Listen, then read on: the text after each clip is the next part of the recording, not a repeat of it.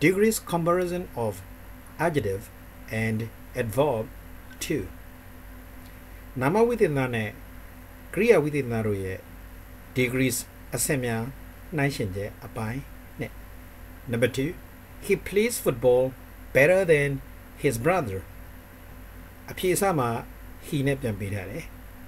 အပေါ်ကမေးခွန်းရဲ့ subject က he he ကိုတွေ့တယ်အောက်ကအဖြေအစရဲ့ subject ကလည်း he he ကိုပဲတွေ့တယ်ဒါဆိုအပေါ်မေးခွန်းနဲ့အောက်ကအဖြေအစ subject နှစ်ခုတူနေတာကိုတွေ့ရတယ် subject တူက d2 အတိုင်းရ subject တူက d2 အတိုင်းရအဲမေးခွန်းကိုအမျိုးအစားတွေခွဲကြည့်မယ် he plays football better than his brother he plays football better than his brother ထေဆုံးက he က subject 1အဖြစ်တာဝန်ယူတယ် နောက်ဆုံးက his brother က subject 2အဖြစ်တာဝန်ယူတယ်ဖြေတဲ့အခါမှာသူတို့နှစ်ခုအပြန်အလှန်ရှင်းနောက်ပြောင်းမှာဖြစ်တယ်ဒါကြောင့် subject 1နဲ့ subject 2အဖြစ်ခွဲထားတယ် please က verb ဖြစ်တယ် football ကမူလပါလာတဲ့ noun ဖြစ်တယ် better ဒီ place ကိုအထူးပြုတဲ့ adverb ဖြစ်တယ်ကောင်းစွာကစားသည်စွာနဲ့ဆုံးတာ adverb ကရိယာဝိသေသနာ verb ကရိယာကိုအထူးပြုတဲ့ကရိယာဝိသေသနာကောင်းစွာကစားသည်ဒီဇာတ်ရဲကဖြေပုံဖြေနည်းလေးကိုအရင်မှတ်သားမယ် subject is နဲ့ပြန်စ a ကိုရှေ့ကမမေ့ရ a နောက်က d2 ပြ adjective ဖြစ်ဖို့တရိယာ verb ကို noun သို့ပြောင်းပေးကြမူလ noun ကိုရှေ့မှာထားပြောင်းတဲ့ noun ကိုနောက်မှာထား then ကစပြီးကျန်တာကူးချအဖြစ်ရအဆုံးသတ်မှာ full stop ချ subject is နဲ့ပြန်စ a ကိုရှေ့ရမမေ့ရ a နောက်က d2 ပြ adjective ဖြစ်ဖို့တရိယာ verb ကို noun သို့ပြောင်းပေးကြမူလ noun ကိုရှေ့မှာထားပြောင်းတဲ့ noun ကိုနောက်မှာထား then ကစပြီးကျန်တာကူးချအဖြစ်ရအဆုံးသတ်မှာ full stop ချဒီပုံစံတော်တဲ့ကလေးတွေဖြစ်နိုင်မဲ့အင်္ဂလိပ်စာမှာအားနည်းတဲ့ကလေးတွေအတွက်အခက်အခဲရှိတယ်ဒါကြောင့်အခုပုံစံလေးအစင်လိုက်ရေးသွားလို့ရတဲ့ပုံစံလေးကလေးတွေအတွက်လည်းလွယ်ကူတဲ့အတွက်ကြောင့်ဒီပုံစံလေးက အញ្ញံဆုံးကလေးကိုတော့ဆွဲတင်နိုင်တဲ့ရအောင်သင်ပေးနိုင်တဲ့အနေအထားမှာရှိတယ်ဆိုတော့ကြိုတင်ပြောကြားခြင်းပါတယ်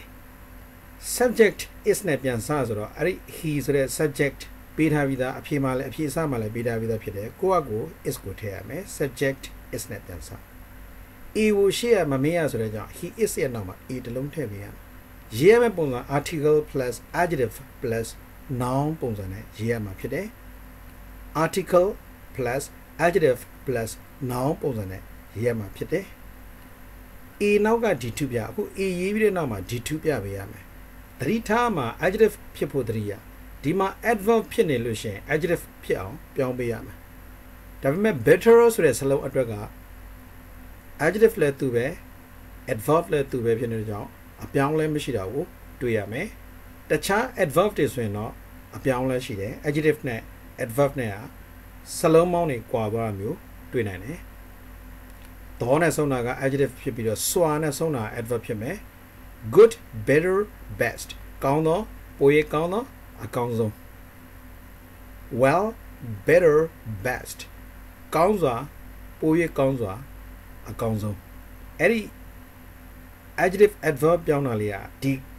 pattern မှာဂရုတစိုက်ပြောင်းပေးရမယ်သတိထားရမယ်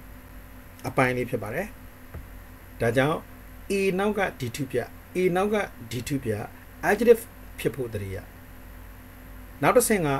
verb ကို noun လို့ပြောင်းပေးကြအပေါ်မေခွန်းထဲမှာပါလာမဲ့ verb ကိုဟာဒီ verb ကို noun ဖြစ်အောင်ပြောင်းပေးရမယ် place ကနေ player ဖြစ်သွားမယ်ကစားသည်ကနေကစားသမားဖြစ်သွားမယ်အဲ့လို verb ကို noun ဖြစ်အောင်ပြောင်းပေးရတယ်ဒါပေမဲ့ထားတဲ့အခါမှာမူလ noun ကိုရှေ့မှာထား ပြောင်းတဲ့ noun ကိုနောက်မှာထားအထားသို့ထားတဲ့အခါမူလ noun ကိုရှေ့မှာထားပြောင်းတဲ့ noun ကိုနောက်မှာထားမူလ noun ဆိုတာဒီမှာအပေါ်မှာတွေကသတ်မှတ်ပြီးသား please ရဲ့နောက်မှာပါလာတဲ့ football ဘောလုံးဆိုတဲ့မူလ noun ရှိနေတယ်အဲ့ဒီမူလ noun ကိုရှေ့မှာထားပြီးတော့ကိုပြောင်းလိုက်တဲ့ noun ကိုနောက်မှာထားရမှာဖြစ်တယ်ဒါကြောင့်ဒီနေရာမှာမှတ်မှာ verb ကို noun သို့ပြောင်းပေးကြအဲ့ဒီ verb ကို noun ဖြစ်အောင်ပြောင်းမူလပါလာတဲ့ noun ကိုရှေ့မှာထား ကိုပြောင်းလိုက်တဲ့ noun ကိုနောက်မှာထားမူလပါလာတဲ့ noun ကိုရှေ့မှာထားကိုပြောင်းလိုက်တဲ့ noun ကိုနောက်မှာထား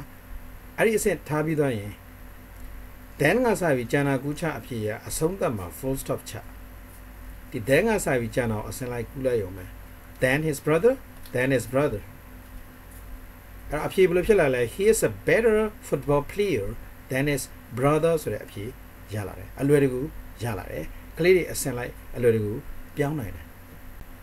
အဲ့တော့မေကွန်းအတိပ္ပယ်နဲ့အဖြေအတိပ္ပယ်ကဘယ်လိုတွေးရမလဲသူသည်သူ့အကိုထက်ပိုကောင်းစွာဘောလုံးကစားသည်အဖြေမှာကျတော့သူသည်သူ့အကိုထက်ပိုကောင်းသောဘောလုံးကစားသမားတူဖြစ်သည်ဖြစ်သည်ပုံစံနဲ့ရေးလိုက်ပြီးတော့ he is နဲ့စပြီးတော့ a တလုံးအမြဲတည်းရတဲ့ပုံစံ မှတ်ရမှာက subject is နဲ့ပြန်စ a ကိုရှေ့ရမမေ့ရ a နောက်ကဒီ2ပြ adjective ဖြစ်ဖို့တတိယ verb ကိုနောင်လို့ပြောင်းပေးကြမူလနောင်ကိုရှေ့မှာထားပြောင်းတဲ့နောင်ကိုနောက်မှာထား then ကစပြီးကျန်တာကူးချအဖြေရအဆုံးသတ်မှာ full stop ချ ထပ်ပြောပြမယ်မှတ်ရမယ်ပုံစံလေးက subject is နဲ့ပြန်စ a ကိုရှေ့ကမမေ့ရ a နောက်ကဒီ2ပြ adjective ဖြစ်ဖို့တတိယ verb ကိုနောင်လို့ပြောင်းပေးကြမူလနောင်ကိုရှေ့မှာထားပြောင်းတဲ့နောင်ကိုနောက်မှာထား then ကစပြီးကျန်တာကူးချအဖြေရအဆုံးသတ်မှာ full stop ချဆိုရင်ရပါပြီ